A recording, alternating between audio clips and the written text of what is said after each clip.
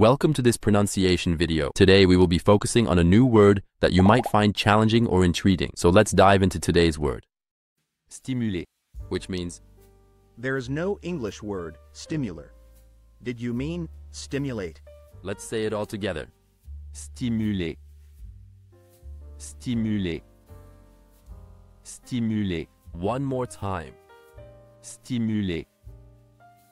Stimuler. Stimuler. Thank you for joining us on this adventure in pronunciation. Remember, language is a journey, not a destination. Keep exploring, experimenting, and expanding your linguistic horizons. We'll see you next time.